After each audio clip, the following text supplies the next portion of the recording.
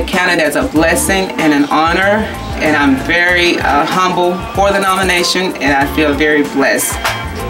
Supervise and I manage uh, the day-to-day operation here at Stratos Dry Cleaners, and I work with uh, some beautiful, amazing women every day.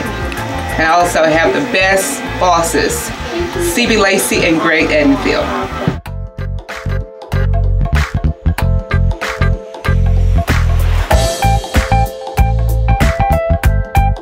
Get the opportunity to meet lots of people, to form a relationship.